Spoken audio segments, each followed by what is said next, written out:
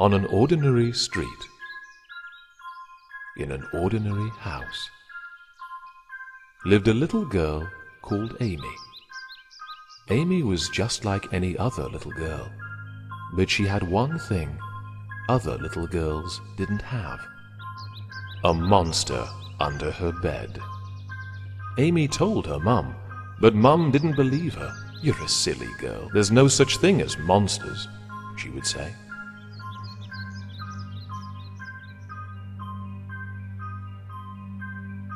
So every night, Amy used to stay awake and hide under her covers.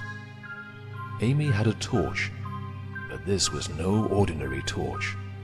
It was magic. It kept the monsters away. She would fall asleep in the day when it was safe. You're a silly girl, her mum would say. But one night, while Amy was keeping the monsters away, the batteries ran out.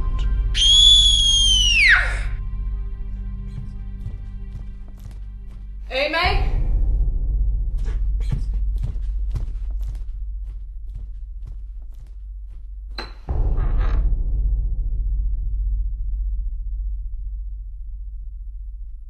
You silly girl.